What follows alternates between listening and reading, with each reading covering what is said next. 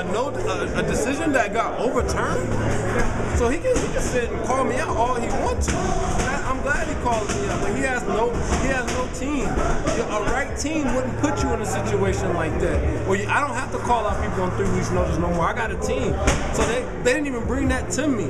He says I turned him down, but it was never even offered to me because there's already a plan in place for my next fight, which I'm not even going to talk about. There's something in place for my next couple fights that after this fight, he got plans already. That's what a team does. So I'm not worried about Rosado. Keep doing your thing, keep getting cut, keep losing fights, and keep being the people's champ. I'm just going to keep make, making money and keep going after championships because that's what I'm doing. You talked a little bit about Rosado. You touched on that a little bit. Uh, do you want to talk about the war on Twitter? He went on Twitter, obviously, said that that you were ducking him, whatever the case may be. Man, any thoughts on or any response to, to something like that? Or you think he's just trying to get attention as far as? Um, what he trying to get? Rosado is like a, a girl you broke up with that won't leave you alone. Like she can't she can't stop. It's like if you a world class fighter and your goal is to win championships, why are you bothering? Like go go go set yourself up a fight. Go get a couple wins. Like I don't know if this dude has won since 2011.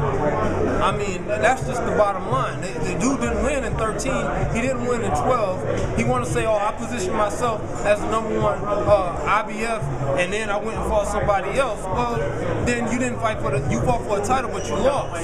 Every time I turn around, you on TV losing. And your last performance against Charlo was so shitty that I mean, dude, you got to rebuild your career. My team didn't even bring me that fight. When when Lara pulled out, they gave me about three possible scenarios that's gonna happen, and he wasn't one of them. So I already got like guarantees of what's gonna happen in my next two to three fights, and he's not one of the options. So it was never even brought to me. So if it was turned down, it was something that they already knew that he's not even in the equation because he hasn't done nothing. If I'm asking for, if I fought K9 to beat him for a world championship, and in my very next fight I asked for Carlos Molina, nobody wants to fight, and everybody knows a tough fighter. I lose by split decision to him.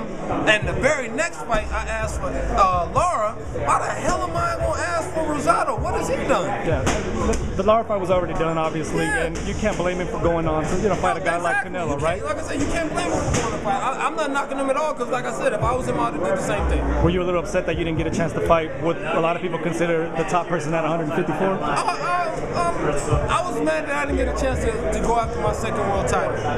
Um, being that him, being that it's him, it, it, wouldn't matter who it is. I was mad that I wasn't able to get that strap because that's what boxing is about: getting that strap and making enough money to feed your family. Exactly. And he's doing that. So I can't, I can't really knock him. I'm upset about the strap, but I'm not upset that I don't get the chance to fight him because if he keep winning and I go out and do my thing, eventually we'll meet. That's the great thing about boxing. The important thing is that you still are fighting on May 2nd. What can we expect May 2nd? I know a lot of people don't know too much about your opponent. Um, uh, for me to put on a show. Like I said, I'm not taking them lightly. Training very hard, uh, working very hard, and uh, I'm ready to go. The switch from southpaw to regular is not going to be a problem, and uh, Um, we're ready to go. We already put in a lot of work.